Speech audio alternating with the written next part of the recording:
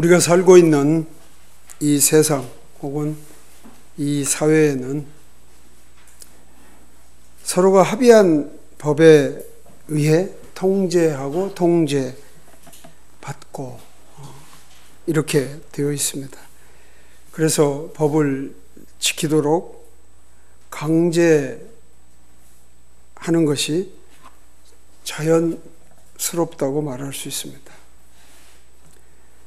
그래서 그렇게 모든 인격이 법을 준수하면 이 세상을 그 사회는 평화롭다고 예, 말할 수 있습니다. 그런데 종종 이런 법을 지키지 않는 상황이 많이 생기는 것을 볼 수 있습니다. 그렇게 되면 매우 불안한 분위기가 우리 주변에 있게 됩니다. 법이 공정하게 집행되지 못해서 때로는 그것이 유업이 되기도 합니다. 법의 잣대를 제멋대로 휘두르면 또는 법을 제대로 관리 또는 집행하지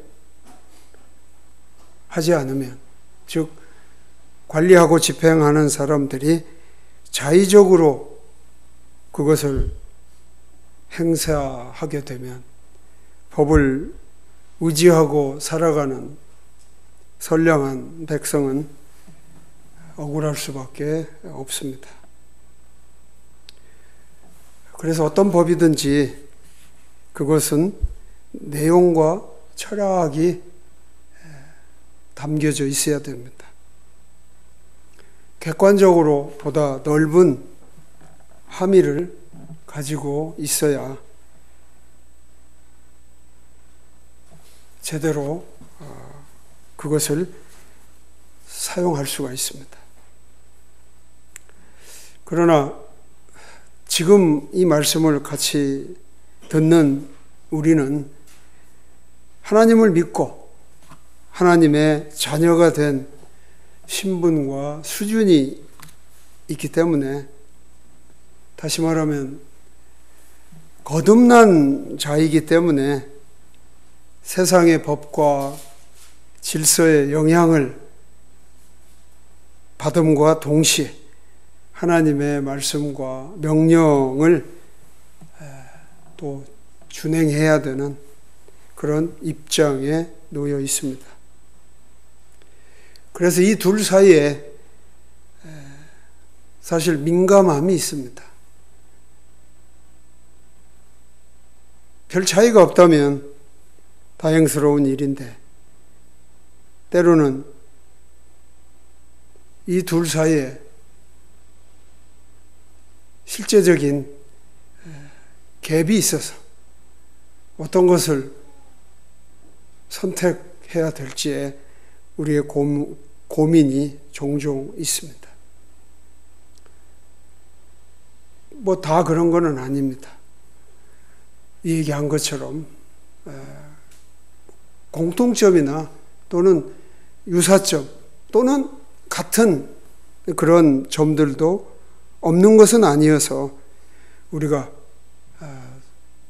그런 것을 볼 때면 하나님의 그 말씀과 명령이 사회에 참 영향을 끼치고 있다 하는 그런 어, 생각을 하면서 하나님을 믿고 있다는 것이 세상의 법과 질서를 지켜가야 되는 어, 나에게는 매우 참 고무적인 그런 일이 되곤 합니다. 그런 의미에서 오늘 우리가 보는 말씀은 바로 하나님이 성경에서 명령하시고 또 그것을 백성들에게 법으로 어, 주시는 한 가지 내용인데 이게 우리가 알다시피 우리가 사는 세상의 법과 규칙에 매우 어, 지대한 영향을 끼쳐서 이러한 그 법의 또 하나님의 말씀의 정신이 우리 사회의 법에 고스란히 담겨져 있는 것을 볼 수 있습니다. 그래서 어, 이 말씀을 우리가 좀 흥미롭게 대할 수 있지 않을까 생각을 합니다. 오늘 우리가 보고자 하는 하나님 말씀은 민수기 35장입니다. 9절로부터 15절까지 말씀을 읽고 함께 생각하도록 하겠습니다. 주께서 모세에게 말씀하여 이르시되 이스라엘 자손에게 말하고 그들에게 이르라 너희가 요르단을 건너 가나안 땅에 들어가거든 너희를 위해 도시들을 도피 도시로 지정하여 알지 못하고 사람을 죽인 자가 거기로 도피하게 할지니라 너희를 위해 그 도시들이 복수하는 자로부터 도피하게 하는 도피 도시가 될지니 이것은 사람을 죽인 자가 회중 앞에서 재판을 받을 때까지 죽지 아니하게 하려 함이니라.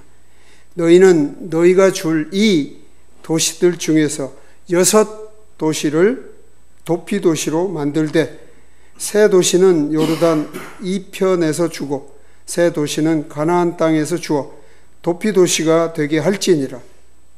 이 여섯 도시는 이스라엘 자손과 타국인과 그들 가운데 머무는 자를 위한 도피처가 되리니 이것은 알지 못하고 사람을 죽인 자가 다 거기로 도피하게 하려 함이니라. 계속 반복해서 나오는 도피 도시에 대한 이야기입니다.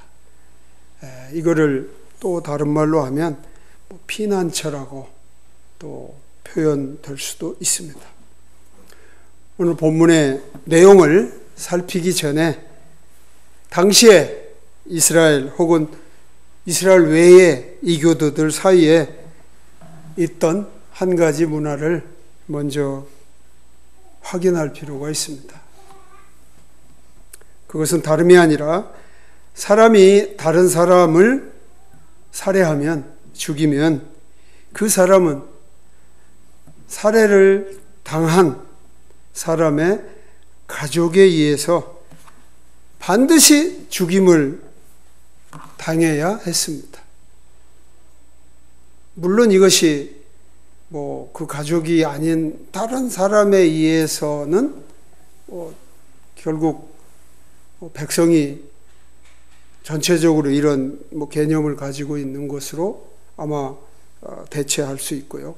어쨌든 한 가지 문화가 뭐냐면 예, 살인자는 살인을 당한 가족이 반드시 죽이도록 되어 있습니다. 찾아서 그를 복수하는 것이 도리였습니다. 가족으로서는 의무인 것이죠.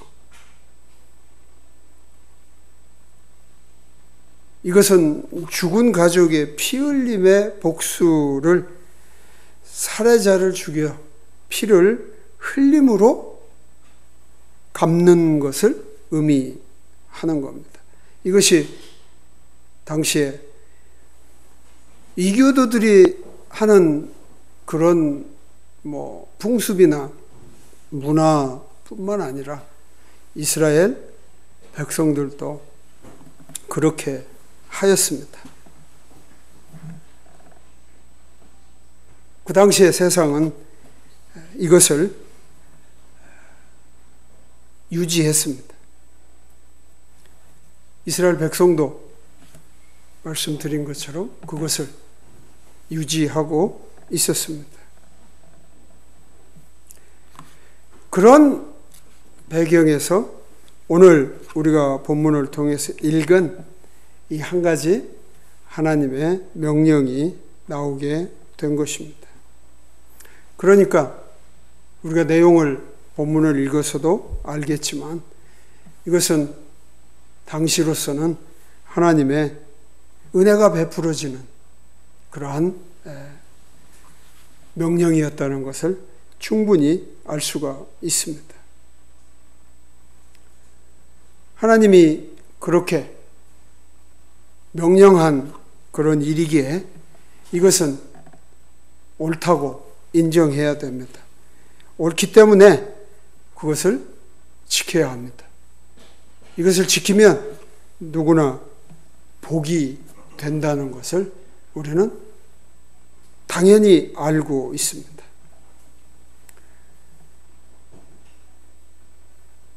이미 여러분들이 기억하고 있는 말씀이지만 하나님이 옳고 하나님의 말씀이 그래서 명령된 것들은 반드시 그것들이 성취되어야 하는 하나님이 강제적으로 성취를 하게 하시든지 아니면 그 명령을 들은 백성들이 명령을 들은 자들이 그것을 지켜서 성취를 하든지 둘 중에 하나가 반드시 이루어져야 됩니다. 이사야는 그래서 그 하나님의 행하심 또 하나님의 말씀을 들은 백성들이 행한 이런 내용을 보고 하나님의 말씀에 대해서 이렇게 증거를 하고 있습니다. 하나님의 생각은 하나님의 길은 사람들의 생각과 길과 다르다. 땅이 하늘이 땅보다 훨씬 높은 것 높은 것처럼 하나님의 생각과 길은 높다고 하는 이야기를 하면서 예를 들어서 비가 이 땅에 내려서 땅을 적시면 땅에서 나와야 되는 식물들을 나게 하고 자라게 하고 그래서 그곳에서 열매를 결실을 얻어서 그 결실을 사람들이 먹고 그리고 또 사람들이 그 열매를 통해서 다시 심고 이런 것이 자연 현상을 통해서 이루어지는 것처럼 하나님의 말씀의 결과는 반드시 이루어지게 돼 있다 하는 것을 강조해서 설명했습니다.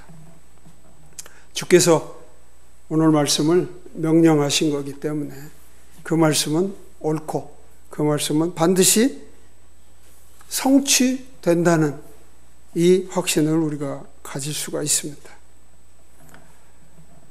또 이 말씀은 10절에 보면 이스라엘 자손에게 말하고 그들에게 지키도록 하는 것입니다.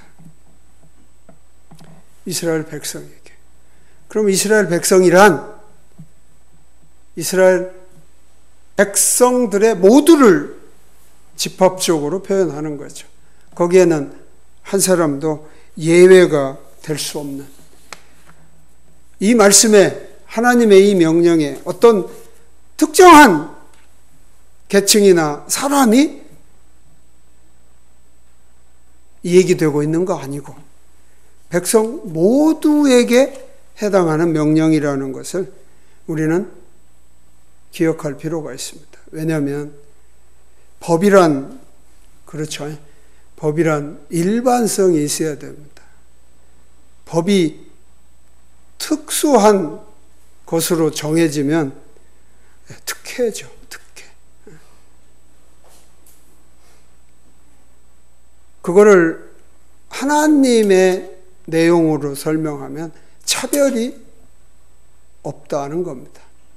법에는 차별이 없습니다. 그래서 지금 모세를 통해서 이스라엘 백성에게 말하고자 하시는 이 한 법을 하나님은 이 관점으로 지금 명령하고 계십니다. 하나님의 속성 중에 매우 중요한 속성이 있다면 바로 그것이 차별이 없으신 그 성질이십니다. 이분이 법을 만들으셔서 지키도록 한다면 유전 무죄라든지 무전 유죄라든지 이러한 차별은 분명히 없을 것입니다. 균등하게 주시고 공평하게 다루시는 그 하나님의 속성이 이 법을 통해서 잘 구현이 되리라고 봅니다. 신약에서도 당연히 하나님의 이러한 성질을 잘 다루고 있습니다. 하나님의 이러한 성질은 사람의 본성과는 너무도 다릅니다. 사람의 본성은 자기 좋아하는 것을 쫓아가게 되어 있습니다. 자기, 자기.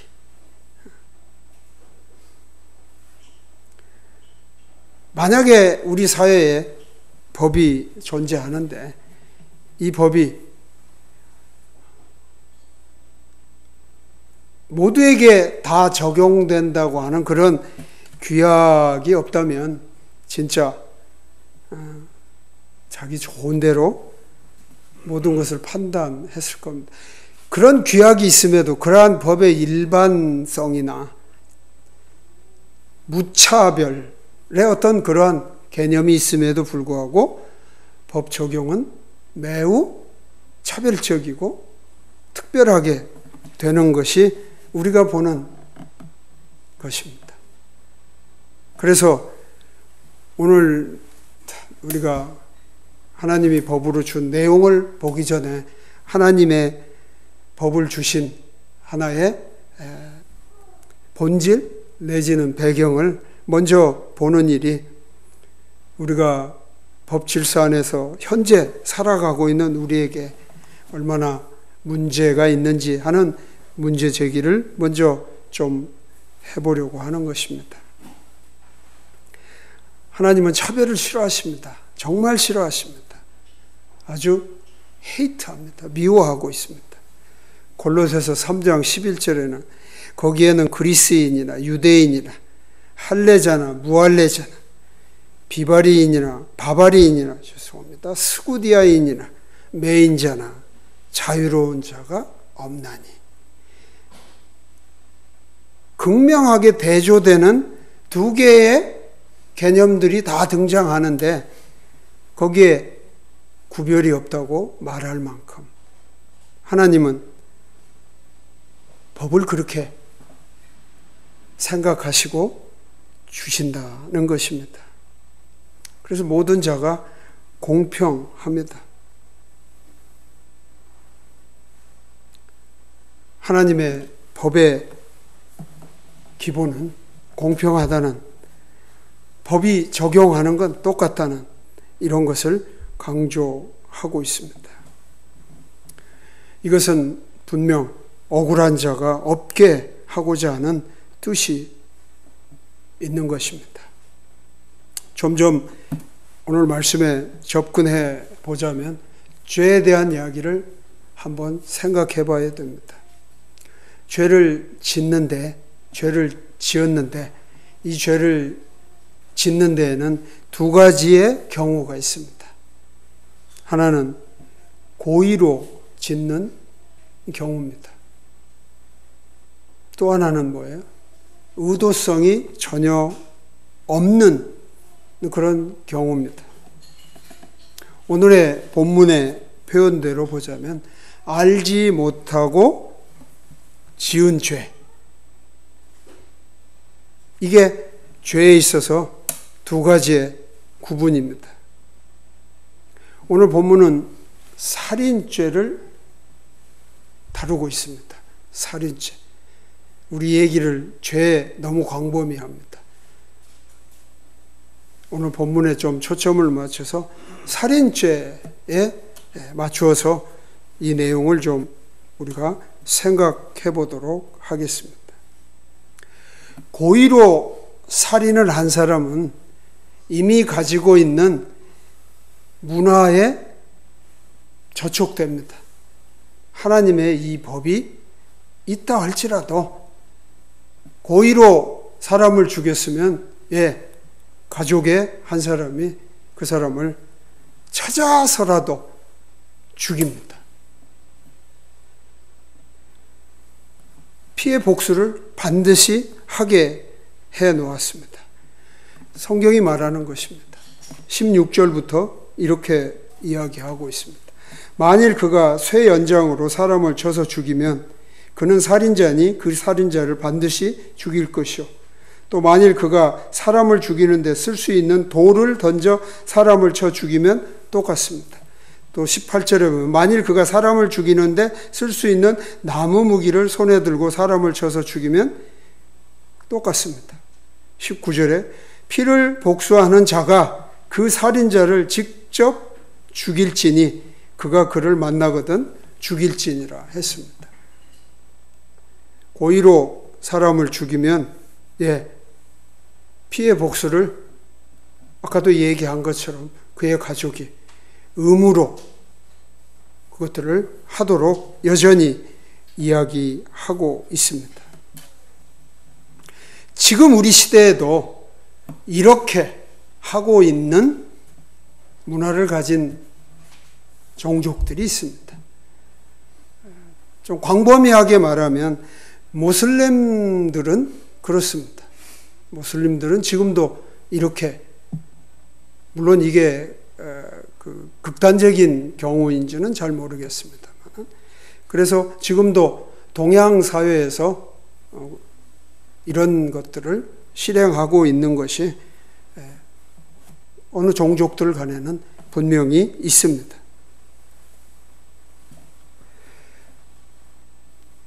그래서 지금 시대에도 이 법은 하나님이 명령되고 있다. 뭐 이렇게 말할 수도 있습니다. 아무튼 이런 때입니다. 16절, 19절에 본 것처럼 고의로 살인을 하면 죽여야 됩니다. 피를 흘려야 피를 흘려 죽은 자의 가품이 되는 것입니다. 그런데 하나님이 보실 때 거기에는 고의로 행하지 않은 그런 일에 대해서 다른 법이 하나 필요하다고 생각하시고 고의로 살인을 한 것과 다르게 고의성이 없는 것.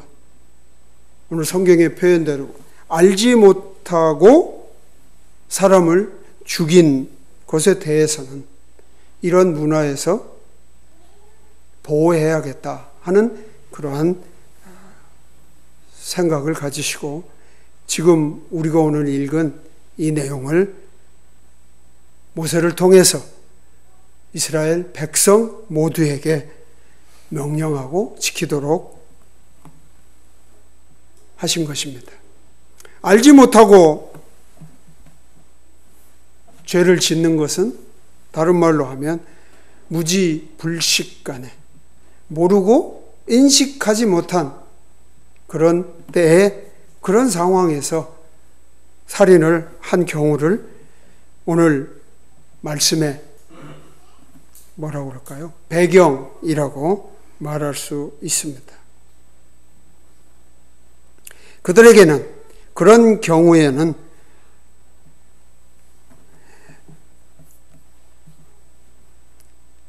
(12절) 네, 죄송합니다. 11절부터 보겠습니다.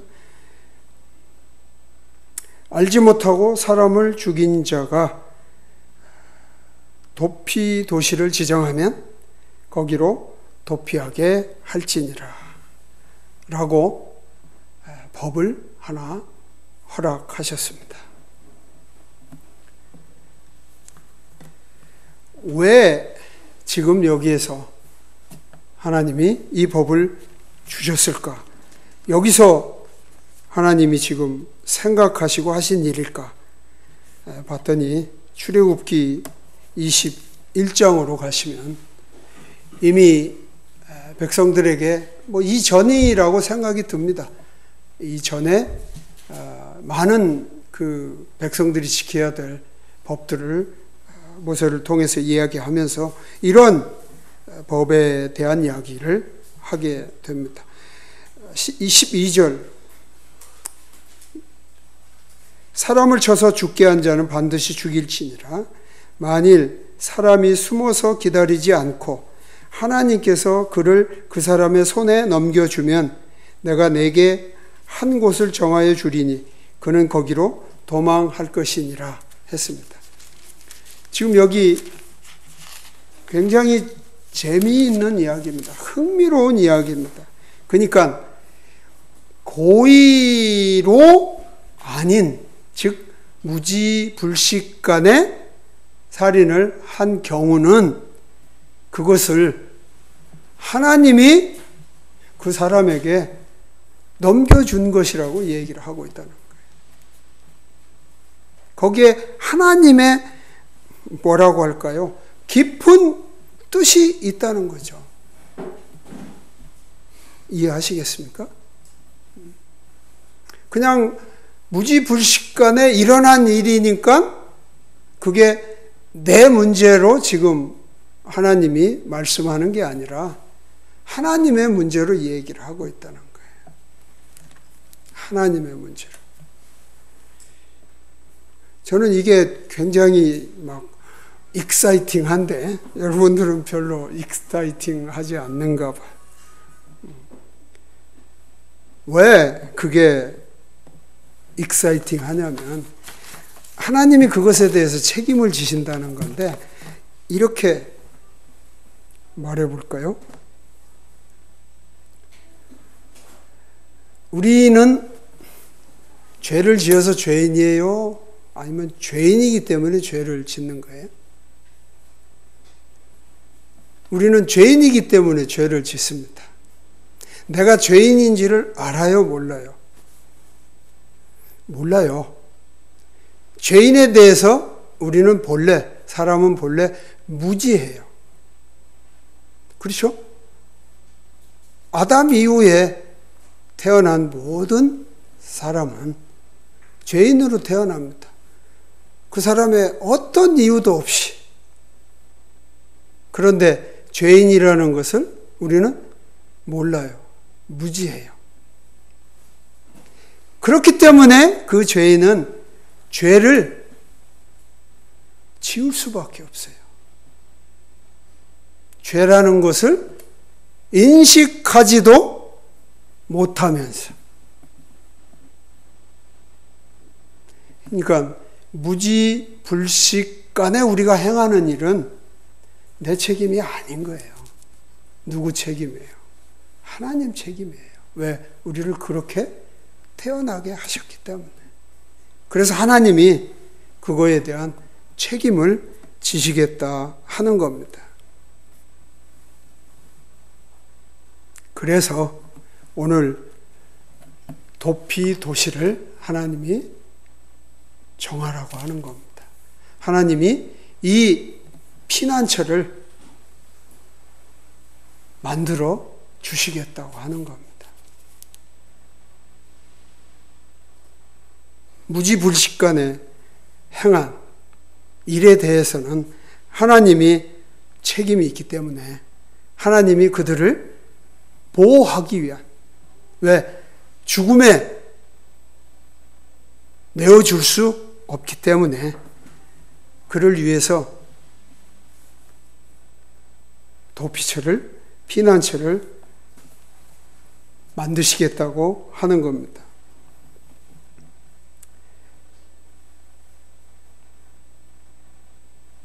도피처로 도피하게 하는 이유가 이렇게 12절에 설명되어 있습니다. 이것은 후반부에 이것은 사람을 죽인 자가 회중 앞에서 서서 재판을 받을 때까지 죽지 아니하게 하려 함이니라. 살인했어요. 그들의 이 법이 있기 전에의 문화로는 당연히 죽어야 돼요.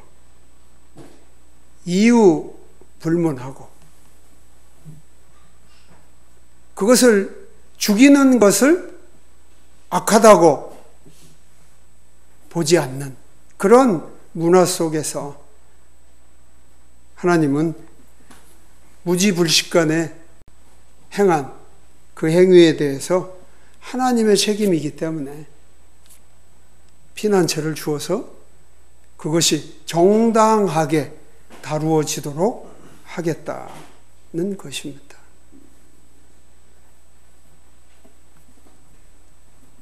이 이유 때, 이 지금 아, 이유 때문에, 이유 때문에 도피처가 만들어지게 됩니다. 또 이 도피처에는 한 가지 매우 중요한 내용이 있습니다. 15절에 보면 이 여섯 도시 즉 도피 도시들은 이스라엘 자손과 타국인과 그들 가운데 머무는 자를 위한 도피처가 된다 그랬습니다. 이스라엘 백성만 아니라는 거 분명히 여러분 눈에 보이죠.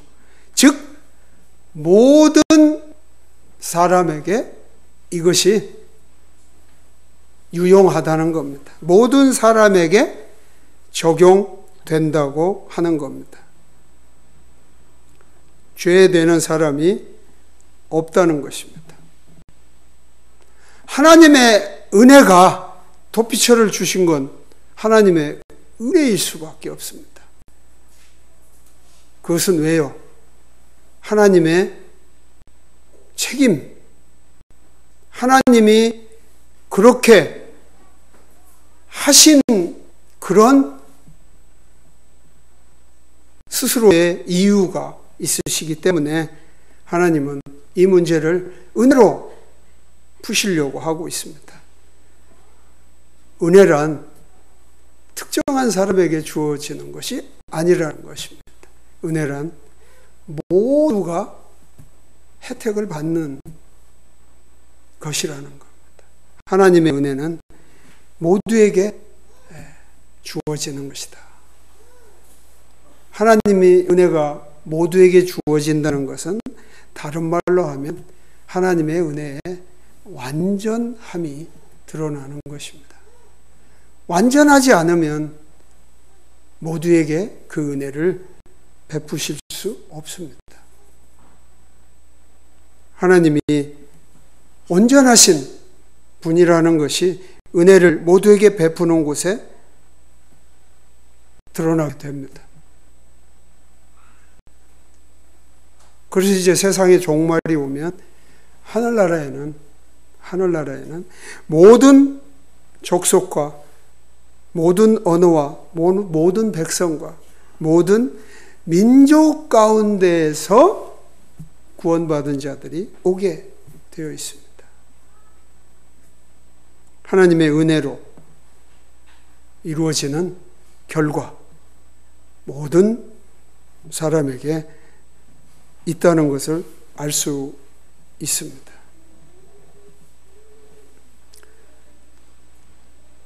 좀 더 하나님은 이 부분을 생각을 하셨습니다.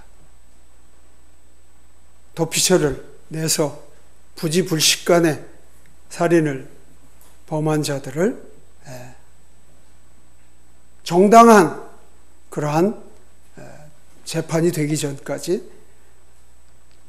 죽이지 못하게 묶어두고 또 이것을 모든 이스라엘 백성뿐만 아니라 즉 믿는 자뿐만 아니라 믿지 않는 자까지도 다 포함해서 여기에 은혜로 이 부분을 하나님이 다루시고 있다. 또 한 가지는 여섯 개의 도피 도시를 두었다고 하는 것입니다. 사람이 생각하면 이런 엄청난 그 혜택을 주는데 굳이 여섯 개씩이나 할 필요 뭐 있어요? 뭐 하나만 해도 충분히 자신이 무언가를 했다는 걸 내세울 수 있잖아요. 충분히.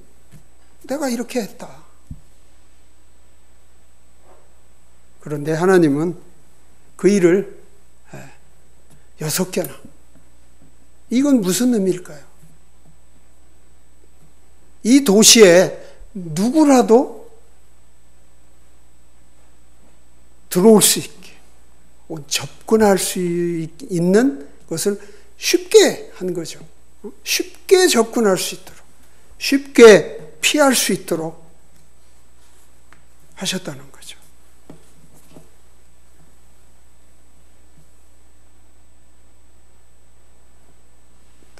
우리가 하나님을 찾을 때 또는 우리가 아, 그러한 상황에 이렇게 놓여 있을 때면 우리는 편안할 때입니까? 아니면 뭐든지 우리가 하기가 용이한 때입니까? 엄청 힘들죠. 그렇지 않아요? 우리가 어려울 때 하나님 찾는데 하나님 잘 찾아줘요. 믿는 자도 그 일 쉽지 않잖아요. 우리가 낙심할 때 하나님을 찾는데 그 하나님 잘 찾아줘요. 절망 가운데 있는데 그 하나님 쉽게 찾아줘요. 하물며 그런데 어디 저기 하나 있어요. 그런 사람이 그 피난처로 쉽게 갈 수 있겠어요? 내 스스로도 어려운데 그 하나님이 은혜를 베푼 자리를 어떻게 쉽게 가냐고요.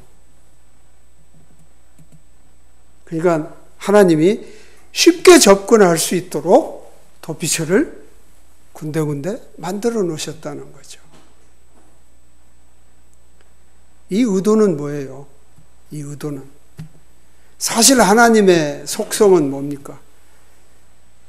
다른 종교에서 섬기는 신들과는 전혀 다르게 그분은 인간을 찾아오신 분이죠. 너희가 나를 찾을 때는 너희가 얼마나 힘든지를 안다. 쉽게 올 수 없다는 거 안다. 그러니까 내가 찾아간다는 거죠. 그런데 우리가 주변에 보는 다른 종교 또는 뭐 종교라는 걸 떠나서 다른 나를 도울 수 있는 그러한 여러 상황들을 한번 비교해 보면 국가라도 그렇습니다.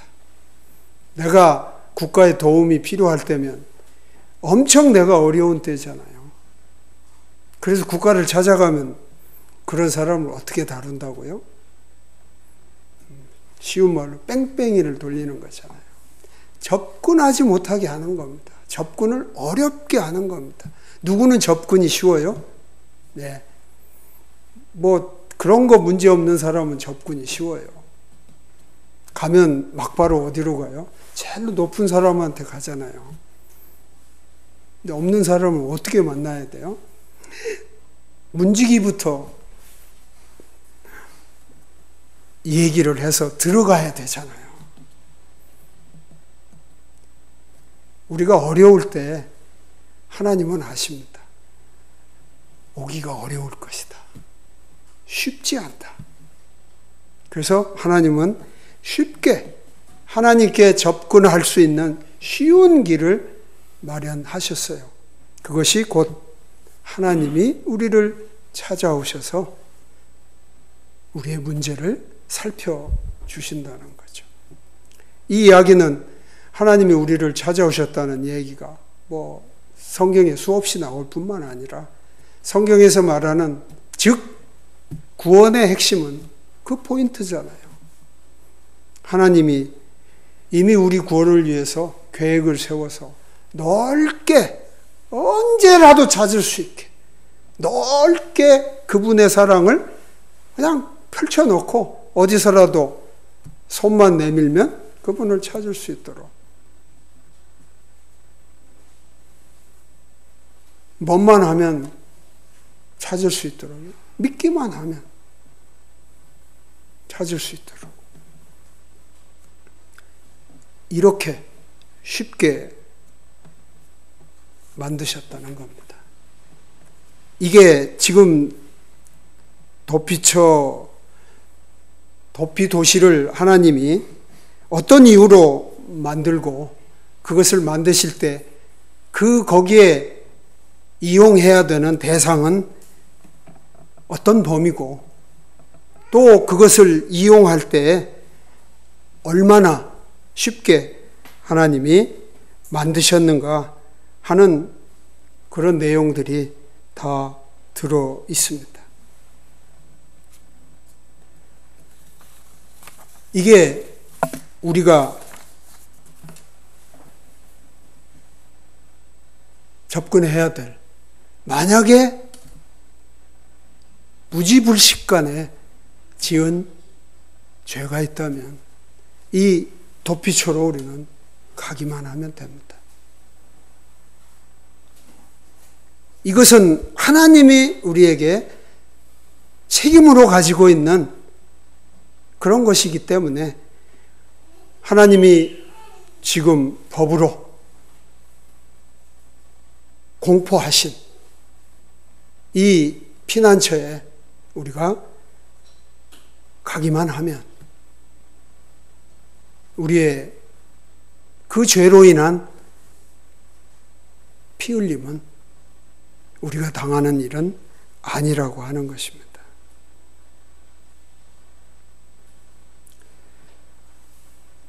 히브리서 6장 18절에 보면 우리 앞에 놓인 소망을 붙잡으려고 피난처로 도피한 우리라고 말하고 있습니다.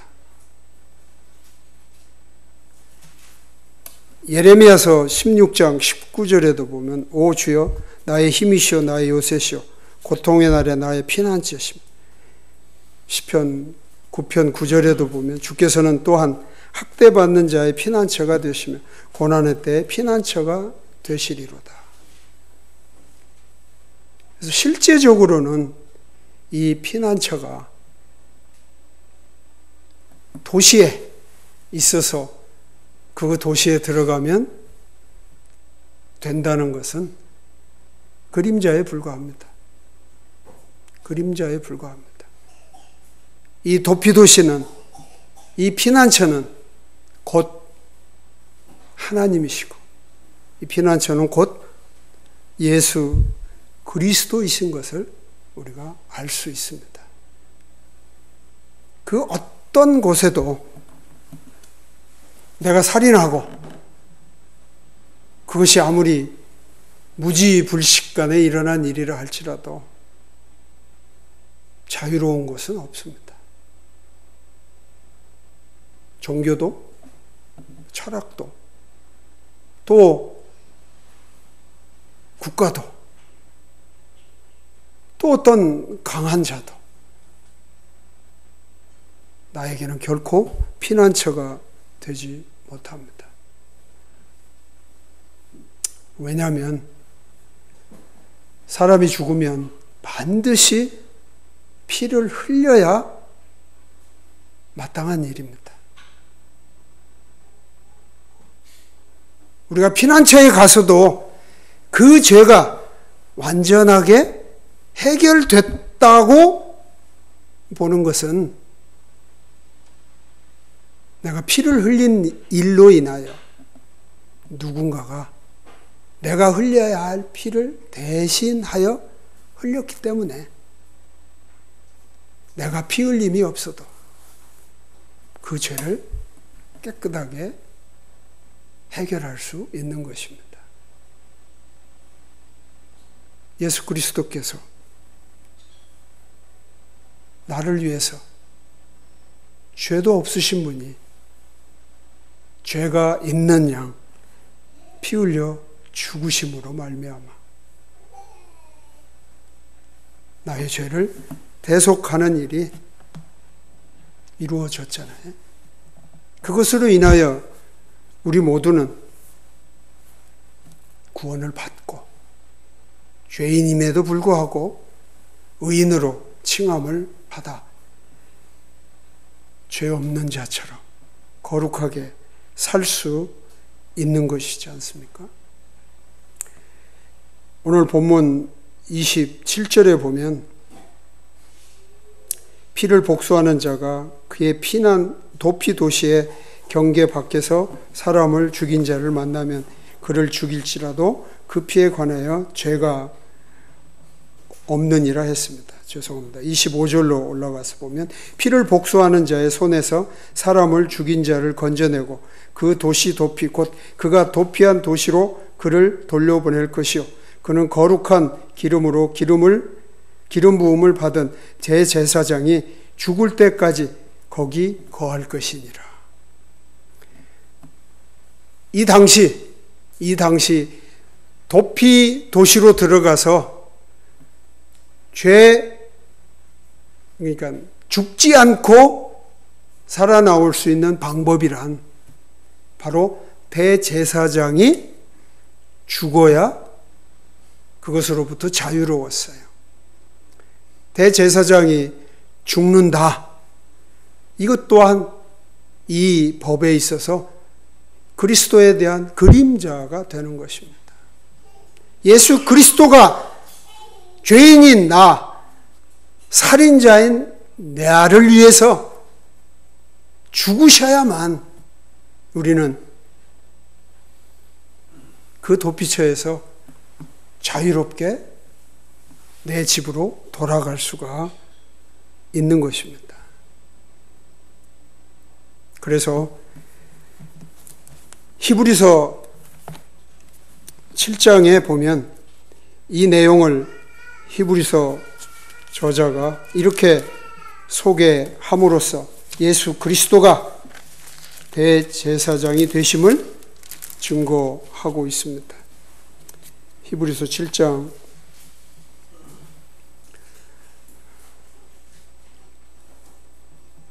27절 보겠습니다. 그분께서는 저 제사장들과 같이 먼저 자기의 죄들로 인하여 날마다 희생물을 드리고 그 다음에 백성의 죄들로 인하여 희생물을 드릴 필요가 없으시니 그분은 예수 그리스도를 말씀하고 있습니다. 예수 그리스도가 대제사장과 어떻게 비교되는가를 통해서 대제사장, 그러니까 육신에 있어서 또는 구약에 있어서 대제사장이라고 하는 것은 바로 예수 그리스도에 대한 그림자로서, 모형으로서 분명히 드러납니다. 그러나 다른 점이 있다면 매번 하는 그런 일이 아니라 이는 그분께서 친히 자신을 들이실 때에 그 일을 단 한 번에 행하셨기 때문이라. 율법은 연약함을 가진 사람들을 대제사장들로 삼거니와 율법이 있은 뒤에 하신 맹세의 말씀은 영원 무궁토록 거룩히 구분된 아들을 대제사장으로 삼느니라. 하나님의 아들이 대제사장으로서 그분은 단 한 번에 영원히 드려진 대사장으로서 그분에게 피난처로 여기고 온 자들은 피 흘림이 없이 그분의 피 흘림으로 그 죄가 다 대속되는 그런 일이 있다는 것입니다. 우리의 피난처는 예수 그리스도가 유일한 곳입니다. 도피도시로 오늘 여섯 개를 얘기했는데 정확히 그 지명이 어딘지는 민수기에는 나타나지 않고 있습니다. 나중에 여호수아서를 보면 예, 그 도시들이 언급되고 그 도시들이 아닙니다. 예수 그리스도이십니다. 그분은 언제나 우리가 피할 수 있는 곳입니다. 예수님께서 이 땅에서 자신의 사역을 시작하실 때 선포하셨습니다. 당신이 이 땅에 온 것이 모든 백성들의 백성들을 위함이었습니다. 그들의 죄를 위함이었습니다. 그러나 그분은 가까이, 손에 잡힐 만큼 가까이에 계신 분으로 자신을 소개하고 있습니다. 그러므로 가장 쉽게, 가장 빠르게, 그리고 가장 완전하게 피할 수 있는 곳은 예수 그리스도시다. 오늘 민수기 35장에서 이야기하는 이것은 바로 예수 그리스도의 그림자로서 많은 부분을 예수 그리스도의 내용에 들어 있습니다. 그러나 이것이 진정으로 예수 그리스도를 말하고 있다고 우리는 여기에서는 보기가 어렵습니다. 이 도피 도시가 예수 그리스도다. 우리 이렇게 말할 수는 없습니다. 이거는 예수 그리스도의 많은 부분을 그림자로 표현한 매우 중요한 이 당시에 하나님이 이들에게 준 법입니다. 이 법이 그렇죠.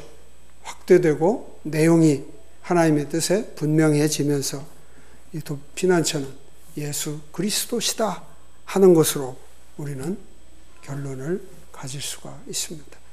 여러분 힘드시고 어렵고 낙심되고 절망될 때 다른 곳을 찾는 것이 아니라 예수 그리스도에 찾고 예수 그리스도 안에서 여러분의 피난처가 있다는 것을 아시고 그분을 찾는 그러한 삶이 되시기를 바라겠습니다. 기도하겠습니다. 하나님, 감사합니다. 우리가 정말 힘들고 어려울 때 하나님을 믿고 있기에 하나님을 찾는 일이 당연한데 정해진 것 정해진 것인데 그것이 쉽지 않은 것을 우리의 삶을 통해서 고백합니다. 그래서 하나님은 하나님을 찾는데 하나님께 피난처로 여기고 있는 일에 더 쉽도록 또 모두가 찾을 수 있도록 마련해 놓으신 것 다시 한번 감사를 드립니다. 그 어떤 것에 의지하지 않고 그 어떤 곳에 마음 두지 않고 하나님이 준비하신 그 피난처 예수 그리스도에게 피할 수 있도록 은혜를 베풀어 주시옵소서. 예수님 이름으로 기도합니다. 아멘.